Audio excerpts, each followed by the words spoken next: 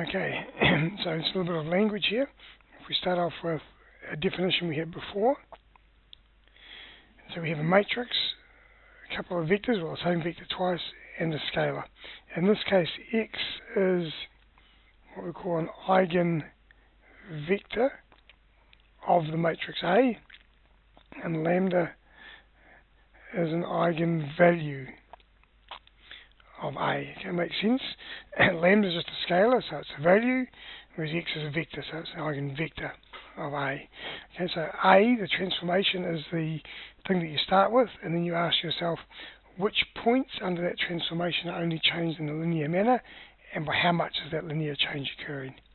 And to find this, you need to be able to solve the equations. So if we work out the determinant of A minus lambda I equals 0, if we solve that, then we will find the eigenvalues of A. We'll be able to solve that for lambda and work out the eigenvalues of the matrix A.